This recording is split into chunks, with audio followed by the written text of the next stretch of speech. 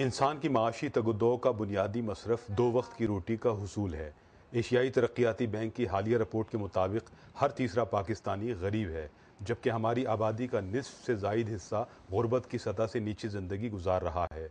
महँगाई के होशरुबा सैलाब ने गरीब आवाम का जीना दोभर कर दिया है। ताहम इन मुश्किल हालात में भी कराची के गरीब इलाके, सरजानी टाउन में वाक़ खुदा की बस्ती के अंदर एक ऐसा खाना घर भी है, जहाँ तीन सौ से जायद गरीब और मजदूर तबके के अफराद को रोज़ाना सिर्फ़ दो रुपये में पेट भर खाना मैसर है। बढ़ती हुई महँगाई के बाईस, अब ये खाना तीन रुपये में दस्तियाब है। इस कार खैर के पीछे एक मुमताज़ समाजी वर्कर, परवीन सईद की पुरखलूस अमली सोच कार फरमा है। वो ये खाना घर गुज्त छः बरस से चला रही हैं। भूख बहुत जालिम चीज़ है और भूख अगर किसी एक मुकाम पर हो तो माँ अपनी बच्चों को मार देती है, बाप खुदकशी कर लेता है, सिर्फ़ ये सोच कर के मैं अपने बच्चों को खिला नहीं सकता। बहन और बेटियाँ अपनी आबरू गंवा बैठती हैं, वो बाहर निकलती हैं, उनके साथ क्या सलूक होता है हमारे माशरे में? तो हमने एक अपनी छोटी सी एक कोशिश यहाँ शुरू की है। खाना घर में दोपहर और रात के वक्त मुख्तलिफ़ दालों सब्जियों और कभी कभार गोश्त पर मुश्तमिल खाना उम्र रंग नस्ल और मज़हब की तफरीक के बगैर दस्तियाब होता है। कई अफराद यहाँ बरसों से आ रहे हैं। तीन साल से खाना खा रहे हैं गरीबों का फ़ायदा कर दे हम जैसे मजदूर का भला हो जाता था अल्लाह ताला इनको तरक्की दे और रूज पे चले जाए।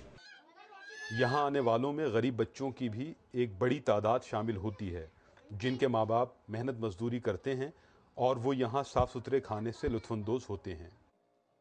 ये भी कहते हैं कि बाद में दे दीजिएगा लेकिन भूखे मत सो। आप खाना ज़रूर खाएँ। खाना कम पैसों का होता है और खाना अच्छा भी होता है और पेट भर के खाना खा लेते हैं। बाद बुज़ुर्ग भी यहाँ पाबंदी के साथ आते हैं और उनके मुताबिक ये बड़ा उम्दा मंसूबा है। अगर दस रुपए भी जेब में है तो दोनों टाइम आदमी खाना खा लेता है।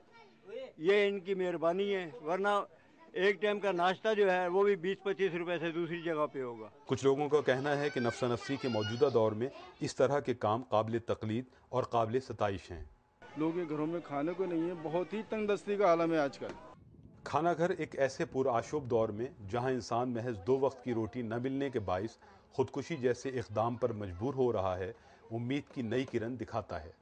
ताहम साढ़े तीन हज़ार से जायद रोज़ाना के अखराज मुंतजमीन के लिए हम वक्ती इम्तहान भी हैं। सबसे बड़ा क्राइसिस आटे का है, क्योंकि हमारे पास जो फ्री की एप्लीकेशन हैं तो उसकी तरफ़ तो हम 20 फैमिलीज़ को भी हम देना दे रहे हैं ना। अब हम कभी ये सोचते हैं कि इसको हम मज़ीद जो हमारे पास 50-60 फैमिलीज़ की आई हुई हैं, हम नहीं बढ़ा सकते, इसलिए कि हमारे वसाइल बहुत ज़्यादा नहीं है। खाना घर के साथ ही कुछ अरसे कबल एक छोटी सी लाइब्रेरी भी कायम की गई है, ताकि इलाके के लोग फारिग औकात में इल्म आगही से फैजियाब हो सकें। परवीन सईद और उनके शोहर ने सईद मेडिकल सेंटर भी इसी इलाके में कायम किया है, जो गुज्त चार बरस से इलाके के गरीब आवाम को इंतहाई कम पैसों में तिब्बी सहूलतें मुहैया कर रहा है। यहाँ एक लेडी डॉक्टर सुबह से शाम तक मौजूद रहती हैं। वुमेन डिज़ीज़ बहुत है। वुमेन डिज़ीज़ के हवाले से हम हेल्थ अवेयरनेस के प्रोग्राम मंथली करवाते हैं। और ख़वान यकीन करें, एक बुलाते हैं, दस ख़वान आती हैं। उनको खुद मालूम है कि यहाँ औरतों के हवाले से हर तरीके से बातचीत हम आसानी के साथ कर सकते हैं, खुल के कर सकते हैं। ये चिराग से चिराग जलाने का अमल है और ऐसे चिरागों को जलाए रखना इनफरादी काविशों के साथ साथ साहिब सरवत और साहिब इस्ताद अफराद की इज्तमाही ज़िम्मेदारी भी है।